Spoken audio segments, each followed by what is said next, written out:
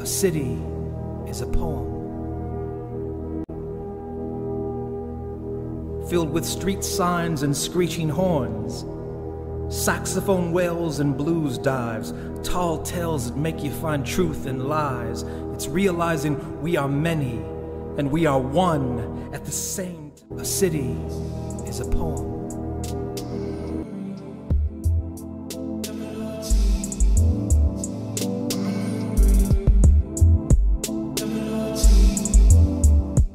City is a poem. All that you leave behind, have coffee together in a late night diner.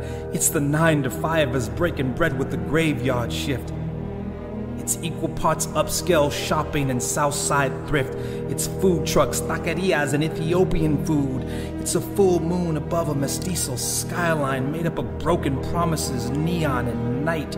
It's the best underground hip hop you've never heard, bumping loud on the system. And yes, a city is the system. It's black ties and white lies, but it's also hoop dreams at an inner city park.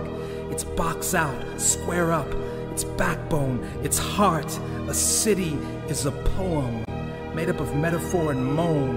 It's walking down any street feeling not far from home. It's connection. It's making a wrong turn feel right. It's equal parts Monday morning grind and Friday night lights. A city ain't where you end up, it's where you're meant to be. It's working hard to pave your own yellow brick road. It's every story ever told. It's realizing it doesn't matter if you're rich or poor, brown or white. We all got two choices to fight or flight. A city is a poem. We are the poets that write its lines. We walk the line between reason and rhyme to the beat of the city's heart. If you listen closely, you can hear it late at night. It's a cacophony of curse words under a broken street light. It's the sound of a single mother singing a lullaby. It's someone's abuelo saying his goodbyes before the sun's rise. It's struggle and sweat and prayer and hope. It's live oak trees swaying gently in the breeze. It's being crazy enough to plant your roots in asphalt and dreams. It's raising your hand in class to ask why.